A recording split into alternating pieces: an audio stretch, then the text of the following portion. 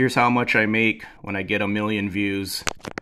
August 2020 to July 2022, 1 million views. That's how much I made. Today's life lesson, missed opportunities. I'm the OG when it comes to playing video games in your van using solar.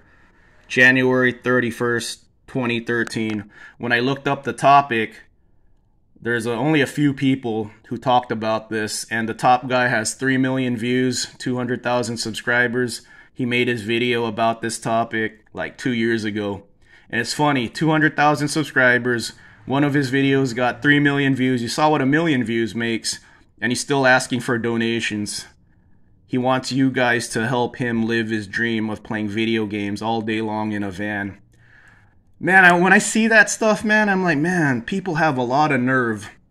I'm always telling you guys, I feel very blessed that I get to make anything on this channel, anything on my YouTube channel. I made my channel with the intentions of uh, sharing my hobbies, sharing my passions. Um, my my channel is mainly about my vehicles, and in real life, no one wants to hear me talk about my cars. You know, my real life friends never wanted to hear me talk about my cars. So I just started a YouTube channel about it. And my first year, I had three viewers and three comments all the time. And to me, it didn't matter that I only had three comments and three viewers.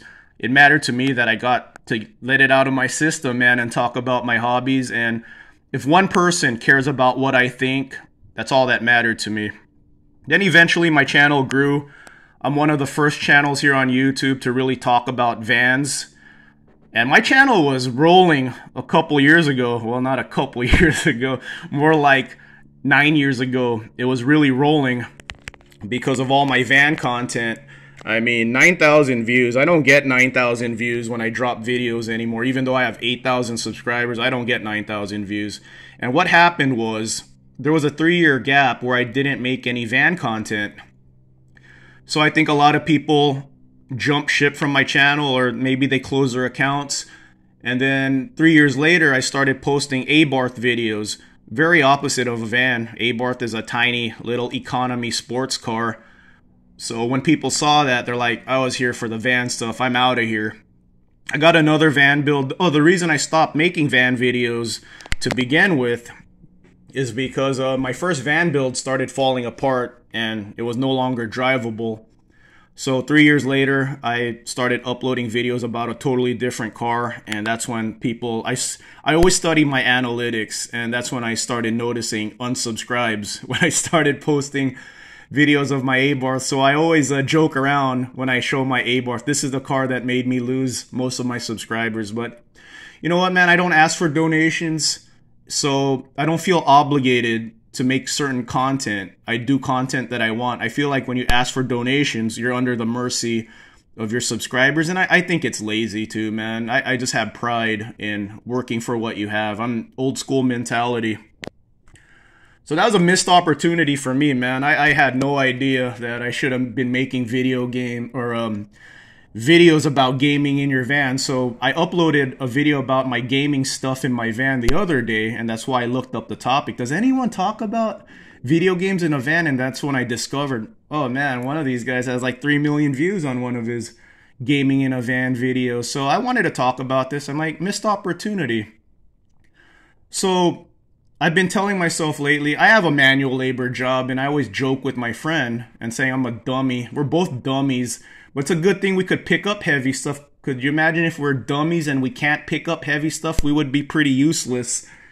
So I've been thinking to myself lately, like maybe it's time for me to start using my brain. So I said, I'm going to study my YouTube analytics even more and make one video a day and see what that does for my income. So I only missed July 2nd right here because I was uh, on a road trip. But other than that, I've been uploading every day consistently. I might not be able to pull it off because I have a lot of work, you know, coming up. I enjoy making videos a lot, but at the end of the day, if I have overtime assignments at my job, I gotta make I gotta go to my job and you know work overtime because I'll make more money. You know, a, a mil a million views is good, but you know I don't pull off a million views all the time, so you know, going to my real job makes more money. So at the end of the day, I have to make more money at my real job. But I am trying my best to make my YouTube channel grow because I look back and it's like, man, I was rolling like years ago when I had like a thousand subscriber subscribers versus the 8,000 I have now. I'm not getting the same views as I used to, but it's a lot of my old videos that get the views.